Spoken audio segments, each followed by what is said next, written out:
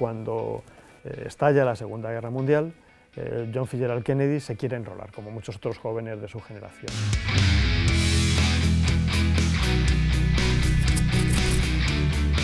Hizo la formación para, lo que entonces era una nueva, eh, una nueva arma de guerra, que eran las patrulleras artilladas,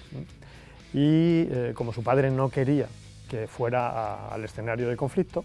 después de hacer la formación para ser oficial de una de esas patrulleras, estuvo como eh, instructor, pero él seguía queriendo entrar en guerra, y saltándose un poco la influencia de su padre, como tenía una gran, eh, una gran panoplia de amistades en los círculos influyentes, pues consiguió que le destinaran finalmente al frente en el año 43. Las famosas patrulleras, las PT, de las que Kennedy era un oficial de una de ellas, eh, la verdad es que tenían mucho más de propaganda que de efectividad. En una de esas, eh, de esas misiones, su, patrullera fue embestida por un, eh, por un, buque de guerra japonés y se partió por la mitad. eran 11 tripulantes, dos murieron en el impacto y los otros nueve sobrevivieron, se agarraron como pudieron a los restos de la patrullera y fueron nadando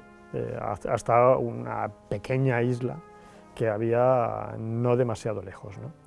Eh, Kennedy era un buen nadador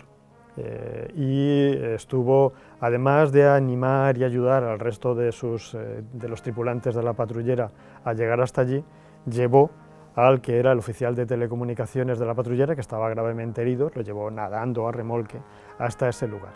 Luego tuvieron, tuvieron que afrontar diferentes penalidades, porque la isla era muy pequeña, tuvieron que ir nadando hasta otra isla, luego Kennedy fue hasta otra isla, eh, nadando junto a otro de los oficiales de la patrullera donde estaban tropas neozelandesas para comunicar que estaban allí para que los recogiera la, Marina norteamericana.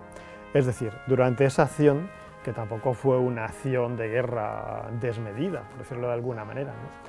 él, lo que sí que demostró es bueno, pues, la capacidad de un oficial para cuidar a sus hombres.